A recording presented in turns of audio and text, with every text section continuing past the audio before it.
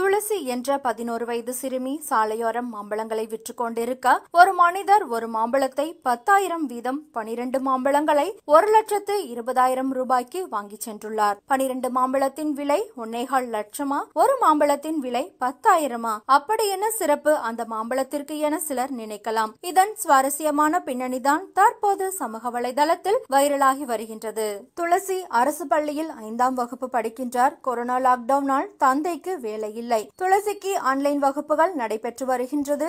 ஆனால் smart phone வாங்க தந்தையிடம் பணம் இல்லாததால் துளசியால் ஆன்லைன் வகுப்பில் பங்கேற்க முடியவில்லை. தந்தையை சிரமப்படுத்த விரும்பாத அதே நேரத்தில் பிறரிடம் உதவி கேட்க விரும்பாத சிறுமி துளசி மாம்பழம் விற்று அதில் வரும் வருமானத்தில் ஒரு பகுதியை ஸ்மார்ட் போன் வாங்குவதற்காக சேமித்து வைத்து வந்துள்ளார். யாரிடமும் உதவி கேட்க விரும்பாத அதே நேரத்தில் தனது படிப்பை தொடர வேண்டும் என்ற சிறுமியின் உறுதியை அறிந்த அமேயா ஹெட் என்ற நபர் ரோட்டில் மாம்பழங்களை விற்று கொண்டிருந்த அந்த சிறுமியிடம் ஒரு மாம்பழம் பத்தாயிரம் வீதம் பனிரெண்டு மாம்பழங்களை ஒரு லட்சத்தி இருபதாயிரம் ரூபாய்க்கு வாங்கி சிறுமிக்கும் இன்ப அதிர்ச்சி கொடுத்துள்ளார். இந்த மாம்பழம் என் வாழ்க்கையில் இவ்வளவு இனிப்பை கொடுக்கும் என நான் நினைத்து கூட பார்க்கவில்லை என சிறுமி துளசி கூறியுள்ளார். அமேயா ஹெட் ஒன்னேகால் லட்சத்திற்கு மாம்பழம் வாங்கியது மட்டுமல்லாமல் சிறுமி ஆசைப்பட்டது போன்று ஸ்மார்ட் போன் இரண்டு வருடத்திற்கு இன்டர்நெட் வசதி மற்றும் புத்தகங்கள் என துளசியின் படிப்பிற்கு உதவும் அனைத்தையும் வாங்கி கொடுத்துள்ளார்.